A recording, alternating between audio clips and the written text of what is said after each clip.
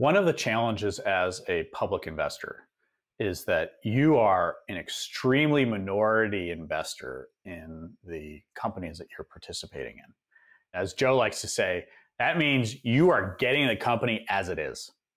And if you think that you know you need to sit around for a new CEO or for a change in board, you know, buckle up. I hope you've got a lot of patience because that investment is likely to underperform your benchmark or underperform you know other securities that you're that, that you're looking at. And so i what we found is that the so you have to you, you want ideally there to already be the people at the company that would be either you know running the company as if you owned it you know in, in full in its entirety or if you were running it yourself. And you know this is some of the advantage of you know having a career spending some time in new york and spending some time out out in the bay area.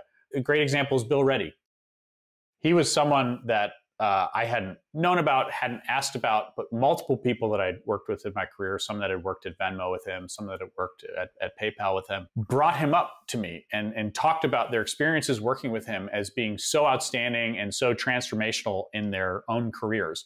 And I wasn't even fishing for the information.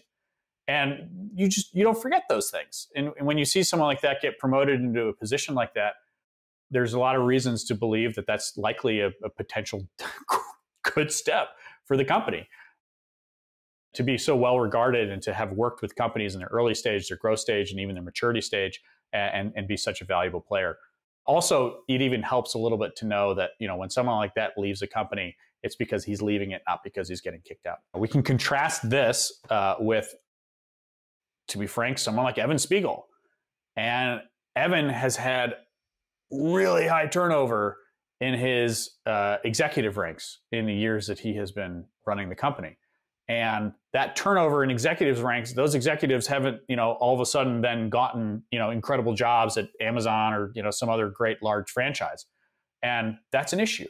And that, that's one of the things that even, you know, Meta scores really well on is, you know, their, their management team has been there a really long time. There's lots of internal promotion. That means there's a lot of great worker development that happens within the organization itself.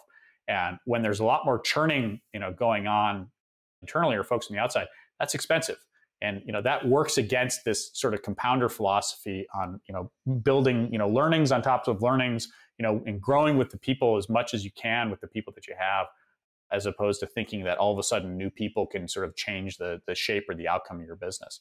And so I do think, you know, this is where sort of the people component, whether it's from specific individuals and the way that they manage, or you know the way that a company you know operates uh, within itself, uh, is in fact uh, an important determinant of um, of success with an investment.